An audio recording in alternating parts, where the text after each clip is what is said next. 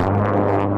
Žiniasklaidoje jau plačiai nušviesta, kad šią savaitę Ukrainos karinės pajėgos pirmą kartą panaudojo savo naudojamus turkiškus Bayraktar TB2 dronus atakai prieš Rusijos kariuomenės pajėgas Donbase.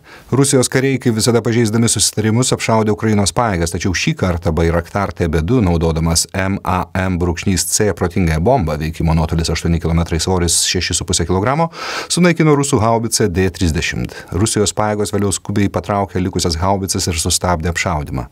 Vis dėlto kol kas atviru lieka klausimas dėl galimybių pakartoti šią sėkmę ateityje. Nėra aišku, ar tuo metu haubicos buvo pridengtos elektroninės kovos priemonėmis. O jei vis dėlto buvo, tai reikštų, kad šių rusiškų kompleksų galimybės yra pervertinamos.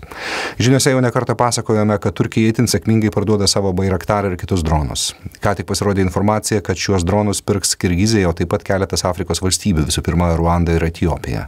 Mūsų regione, apart Ukrainos, juos neseniai įsigijo ir Lenkija. Lietuvoje taip pat pastaruoju metu vis daugiau ir viešiau kalba kalbama apie galimą dronų, įskaitant atakos, kadangi nedidelių žvalgybinių Lietuvos kariuomenė ir taip turi įsigijimą.